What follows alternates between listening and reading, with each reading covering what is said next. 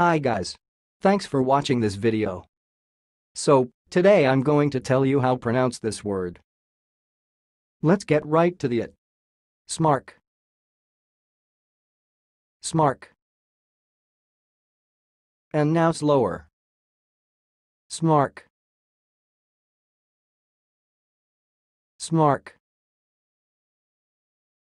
That's all, thanks for watching. If you liked this video, please subscribe to my channel. If you want to share your opinion, please leave comment for this video. Thanks and goodbye.